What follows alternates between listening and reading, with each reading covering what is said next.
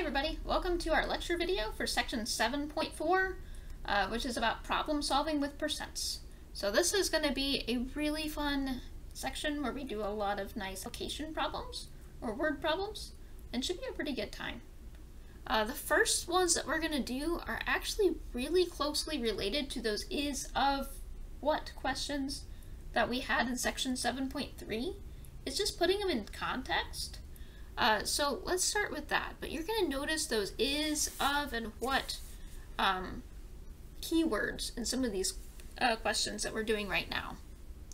So my first one says, Mr. Bucharan, the principal of Slidell High School, counted 31 freshmen absent during a particular day. If this is 4% of the total number of freshmen, how many freshmen are there at Slidell High School? So you guys notice these, this is 4% of the total number of freshmen. We're noticing those keywords again. So let's talk about what are those referring to. Uh, the first thing I notice is if this. That refers to something that we just had, the 31 freshmen.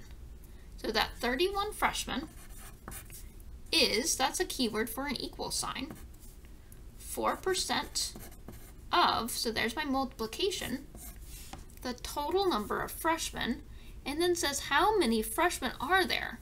So that's my unknown quantity, so that'll be my x, is the number of freshmen at Slidell High School. So now that I have it set up, it's not too bad to solve. I'll convert 4% to a decimal. So then I'm going to have 31 equals 0.04 times x. And then to solve for x, I'll divide by 0.04 on both sides. And 31 divided by 0.04 is 775. So I'm going to have 775 equals x. So what does that mean? That means that there are 775 freshmen at this high school. The nice thing about word problems is that you can double check that this answer actually makes sense. So if you're at a high school and 31 students are absent, would it make sense to have 700 freshmen total? Well, it's a lot more than 31, so that's a good start. It would be strange if I got a number less than 31, wouldn't it? If I have more absent than the total number of freshmen. So I wouldn't like an answer that's more than 31. And it's only 4%, that's just a pretty low percentage. It's a lot closer to zero than to 100. Uh, so I would think that that's a really small number compared to the total number. Uh, and so in that way, it does make sense. So these are things that you can double check uh, to make sure that your answer actually makes sense after you do it. Let's do another one. Sean took a 45 question test and got 40 questions correct. Approximately what percent of the questions did he get correct? So I'm noticing those keywords again. So what percent? So that's my unknown. So I've got X percent of the keywords, of the questions, uh, so of the total questions, did he get correct? So the total number of questions was 45. So this will be X percent of 45, so times 45. Did he get correct? So even though it doesn't have the word is, um, it's actually equaling the number correct, which would be 40. So that's my starting equation. If I want to solve for x, I'll just divide by 45 on both sides. And 40 out of 45 should probably remind you of what looks what things look like on your test sometimes after you take one. 40 questions right out of the 45 total.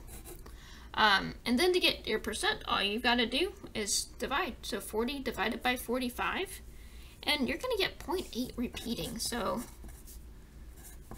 your calculator is going to say like 0.88888 and it's going to keep on going.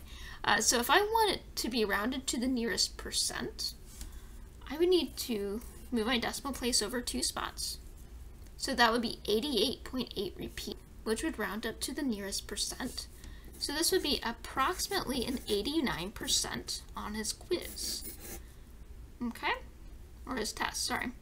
If you needed to round to the nearest tenth of a percent, then this would be 88.9% if you needed to round to the nearest tenth. Because again, that 8 is bigger than 5, so it's going to round up. Okay?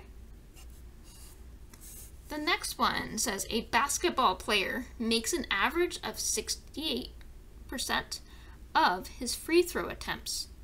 If he made 11 free throws last night, how many attempts did he have? Well, I notice my keywords up here. So he makes an average of 68% of his free throw attempts. So the amount that he makes is 68% of his free throw attempts.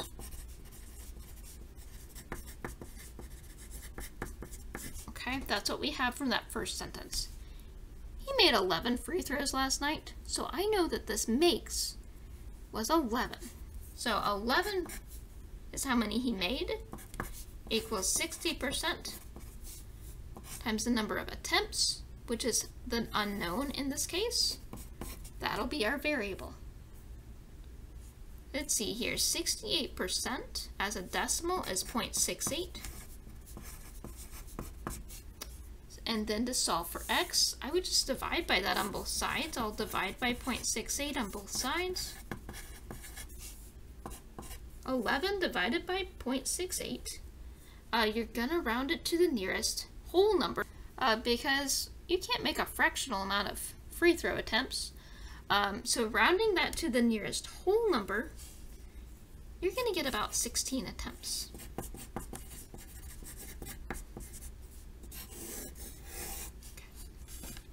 So sometimes with word problems, you have to think about the context um, and what you should be rounding to. So you can't have a decimal number of throws or attempts here.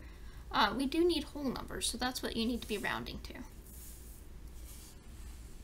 in a certain class, 32% are nursing majors, 16% are education majors, 24% are business majors, 8% are computer science majors, and 20% are undecided.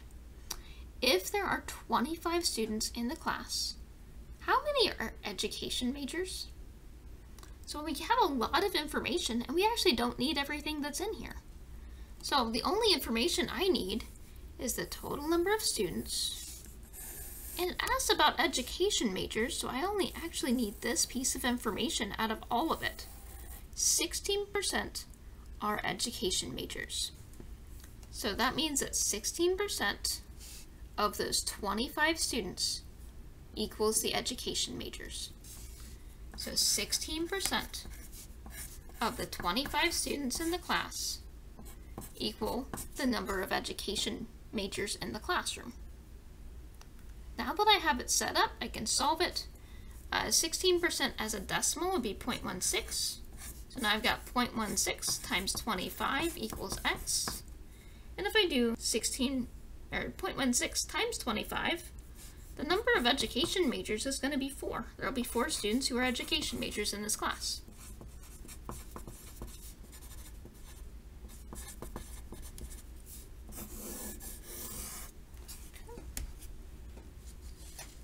So hopefully you see from these four examples how to find those is, those of, those what um, keywords to make an equation and then how to solve that equation. The next thing that you're going to see in this section is percent increase and percent decrease. And in case you're wondering, how will I know if I need to use this? It will say it in the problem. It will say what is the percent increase, what is the percent decrease.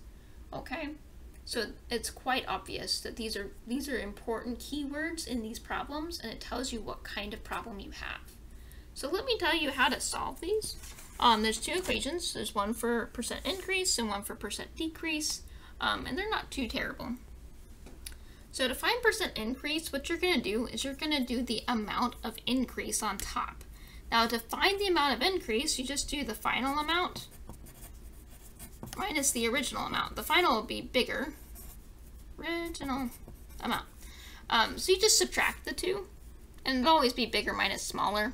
Um, but you find the difference up here. You find how much it increased by, and then you take that amount and you divide by the original starting amount.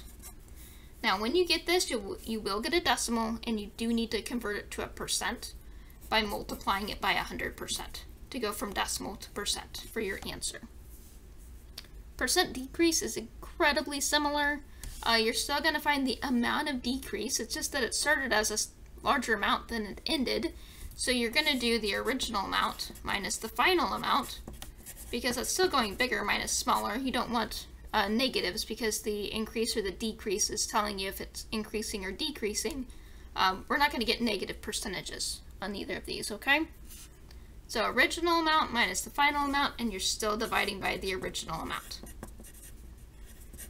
Um, just like the percent increase, you're going to get a decimal that you need to convert to percent. So you'll multiply that answer by 100% to get it as a percent. Alright, so let's do a couple examples. Uh, example 5 says, in a survey taken two weeks ago, 146 students said they would vote for Megan for class president. Today, 163 students said they would vote for her. What was the approximate percent increase in the number of students voting for Megan? So again, the percent increase is your keyword that we're finding the percent increase. So once you get that in mind, you know I need to use this equation. So we're doing final amount minus original amount. Well, the final amount was 163 students. The original amount was 146 students. And we're going to take that difference and divide by the original amount. Uh, the starting amount from our surveys was 146. And once you get that as a decimal, we're going to multiply it by 100% to change it to a percent. So first off, the subtraction. 163 minus 46 is 17. And if you do 17 divided by 146, you're going to get about 0.116438, and it'll continue. Um, to convert it from here to a percent, we'll move our decimal places two spots over, and then we just need to know what to round to. So if I'm rounding it to the nearest percent, that would be 11.6, which would round it up to 12. So that would be about 12% if you want it rounded to the nearest percent. If you want to round it to the nearest tenth of a percent, we'd have 11.6 and that 4 would round down. So that would be about 11.6% if you want it rounded to the nearest tenth. The nearest hundredth would be 11.64 because that 3 would round down. So you'll pay attention to what MyMathLab asks for with your rounding. Alright, next one is the value of a share of stock dropped from $120 to $82. What was the approximate percent decrease? So there's our keyword again, in the value of the stock. And it says round to the nearest tenth of a percent. Okay, so now we know what to round to, which is always helpful. We have this keyword of percent decrease, which means we're going to use the percent decrease equation. So in the percent decrease equation, we do original minus final, so that would be 120 minus 82 over the original amount. It started at $120. Okay? Then we'll take that answer and we'll multiply it by 100% to get it as a percent. So first off, if we do our subtraction, 120 minus 82 is 38. If you do 38 divided by a, a 120, you're going to get about 0.1, but goodness, 0.316 with the 6 repeating. That's what you're going to get. So if I'm rounding it to the nearest tenth of a percent, if I move that decimal place over two times, I'm going to get 31.6, and it's going to be a lot of sixes repeating like this, okay? And then I need to round it to the, the nearest tenth.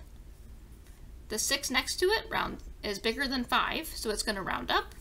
So this is going to be approximately 31.7%. All right.